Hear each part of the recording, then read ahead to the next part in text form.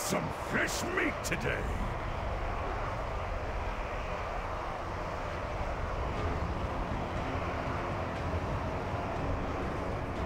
Champions on.